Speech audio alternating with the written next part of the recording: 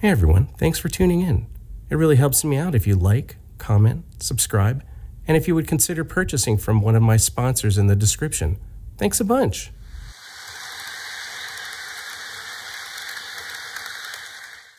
Hey, everybody. I hope you had a wonderful and excellent Christmas. I know I certainly did, especially me and the new train running around and Christmas Dryman doing his job as per usual. I hope you got a lot of cool stuff and had some time to enjoy some trains before having to go back to work. Like always, I got the ever living snot beat out of me on the 26th. I have no idea why anyone would like this holiday unless you are a true sadist or perhaps a masochist. Commonwealthers, I don't get it. If you remember from the other day, I went to Grandpa Joe's, or at least I found myself at Grandpa Joe's in Springfield, which is a place I may not ever go back to again.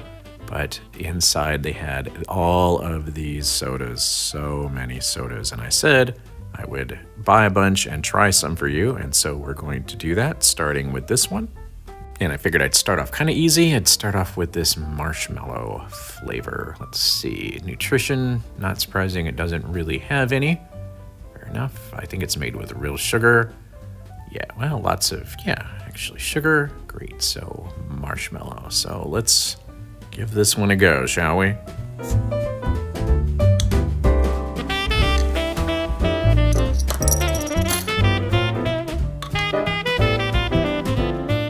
Okay, so it tastes. Ooh, oh my goodness. I. Uh, ah. Okay, so it tastes exactly like if. Let's, let's try this again. It tastes exactly like if someone took a bunch of honeydew juice, and I mean straight from. Ugh, ugh. Yeah, if somebody took a bunch of honeydew juice and rendered it down to about 50% of its water content. It's, I don't know why I keep doing this to me. About 50%, yeah, of its water content, and you drink it. That's exactly what that's like. It's really rich. Oh, okay. All right, well, on to my Christmas gifts. And the first one I have, uh, first few I have, is actually from my mother. And check this out. I got some Thomas the Tank Engine chopsticks. Very cool. Um, I don't really, you know, actually, I do watch Thomas Tank Engine a little bit. It's, of course, way after my time, but the fact that he is a locomotive and everyone else is either some sort of locomotive or rolling stock or something like that, can't really beat that in a show, right? So check this out. Very, very nifty. These will come in handy without a doubt. And these are Japanese, so I didn't even have to settle for the American ones. I got these cool Japanese Thomas the Tank Engine chopsticks. Can't beat that. So those will be used in my next meal that requires chopsticks. And also from my mother, let's see if I can get these here. These are utensils, fork and spoon. And check this out Let me see if I can get these arranged in such a way that helps you see them. There we go. And they are, yeah, they're uh, basically modeled after, well, I don't know if they're modeled after, they look to be the same design, but they have these cool bullet train images on them. So here is one for the Series 5, and here's what it looks like in real life.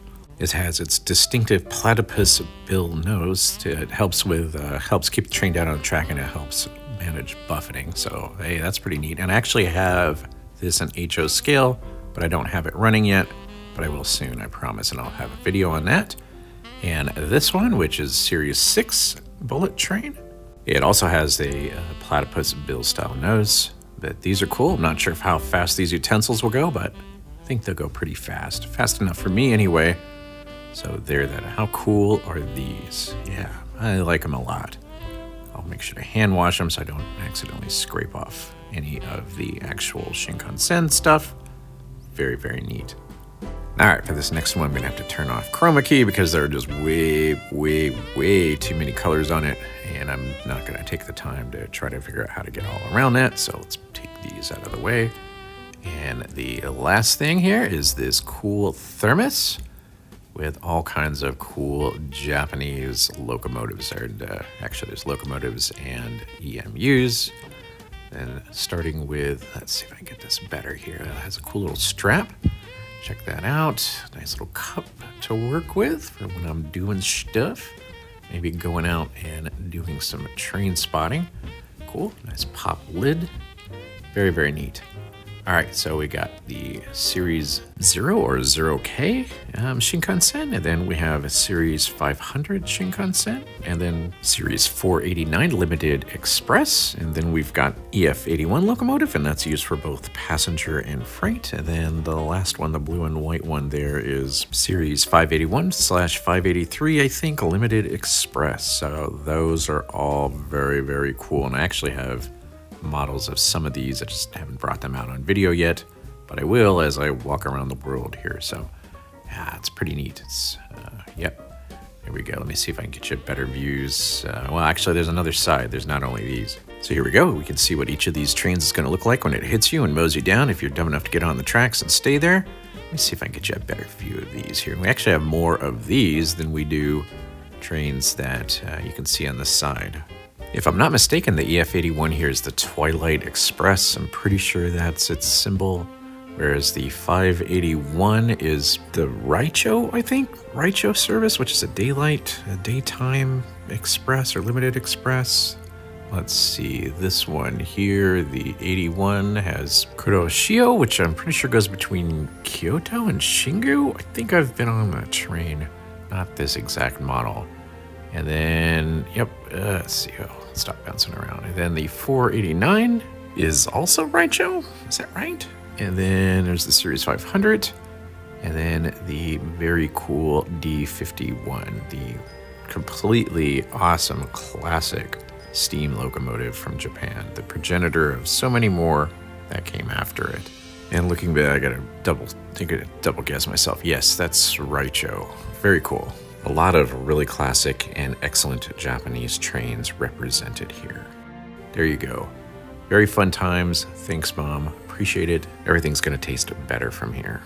All right, from the Esposa, let's plop this down here. And if you notice, it's from Liliput, and I don't think I have too many very recent things from Liliput. It's not a company that makes a lot of stuff that I want to buy. But when I saw these, I'm like, oh my gosh, these are very, very cool. And if you haven't figured out my sweet tooth thing from now by now, you, you probably won't. But yes, I've got a sweet tooth. Let me get these out of here. All right, these are uh, they're Swiss commuter cars. They're Swiss single level commuter cars, and these are run by BLS, which I think is owned at least mostly or in part by one particular province of Switzerland. But their livery marks the 100th anniversary of Kambly, which is a biscuit maker, a large biscuit maker in Switzerland, and they got their start in 1910. So these uh, these are out around uh, 2010, I guess. Let's pull this. Let's pull this out of here, and this is the cab control car. Get this out. As you can see, this is an AC uh, car, so I'm going to run it on my Märklin set. I'm trying to build up a little bit more AC since I don't have quite as many and that way I can have more cool stuff rolling at the same time. So here you go. Yep, pretty neat. So I don't know if each one of these cars um, is exactly the same or if the, I assume it used some sort of wrap. Um, I don't know if they're exactly the same, but check that out. And I'm curious to see if it'll take DCC, if it's designed for kind of analog, which I guess it shouldn't since it's Märklin, it'll be AC, then the lights won't change. So I'm curious to see how that will go when I plop it on the track. Okay, there's that one. Let me get another one out of here. And this one is going to be a second class car also, although of course there's only one cab car. Let me plop that down. There we go. Very, very cool. So uh, let's take a quick look at that. It looks, yeah, again, I don't have anything particularly recent from Liliput. So, and their stuff back in the day was a little bit cheap, I think, but it seems like they're doing a lot better job on that now. Not quite sure if I like. Yeah, there we go. That uses kind of an odd. I thought it was a. Hmm, it's a bit of an odd coupler.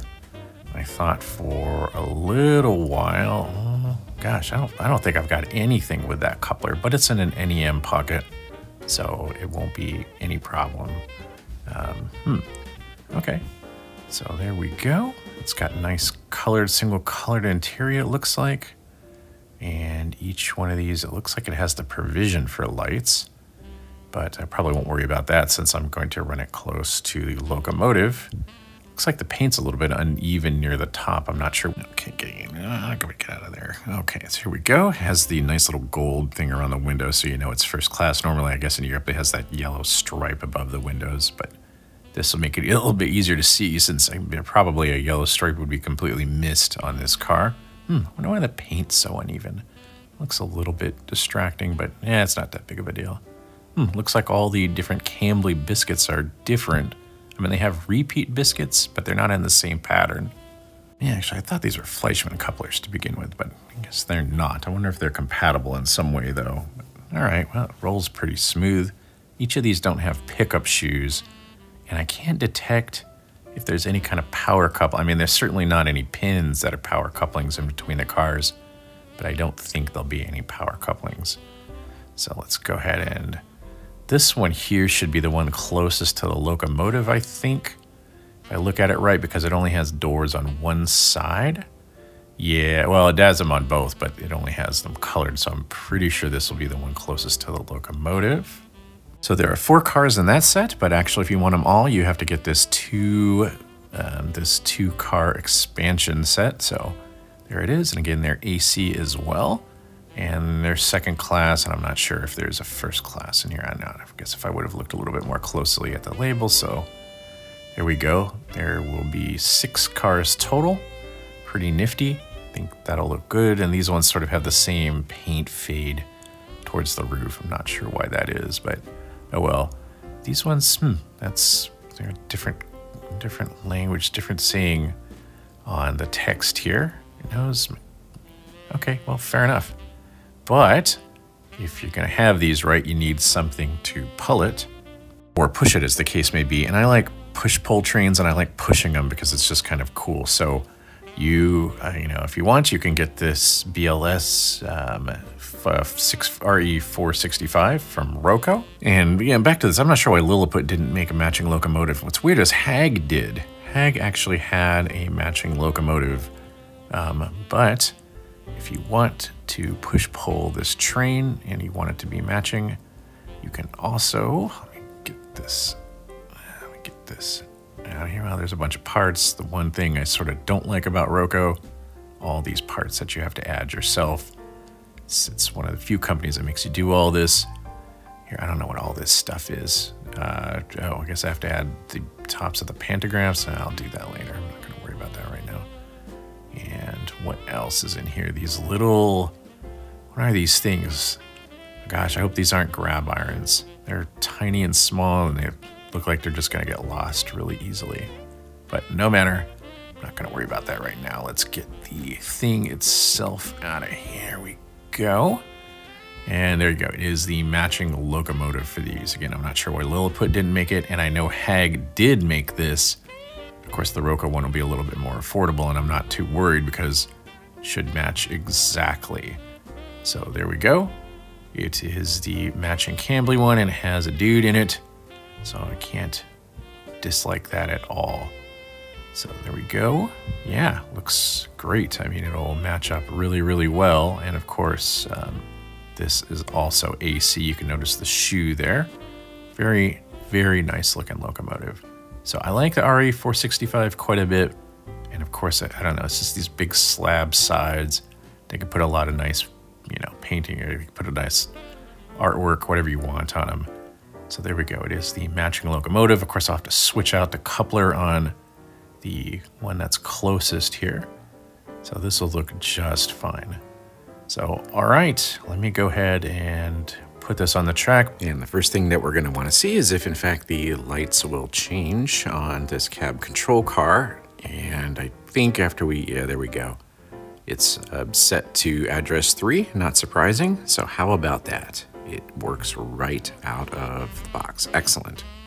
Although one thing I did notice is that the headlights come on when it's running quote unquote forward, and I really wanted the headlights to come on when it's running backwards because I want the yeah, I want it to be when it's pushing, the locomotive is going backwards. So here it is, everything together, the Roco locomotive, and these looks great together.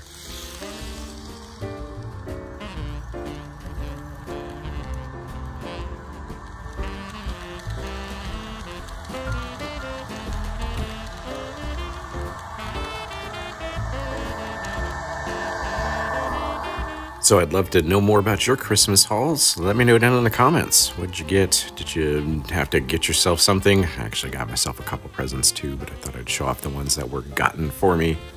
So uh, yeah, what did you get? Tell me all about it. I want to share in your joy. All right. Well, I appreciate you being here like always. Please like and uh, comment. I'd certainly love to hear your comments. And if you haven't done so, please subscribe.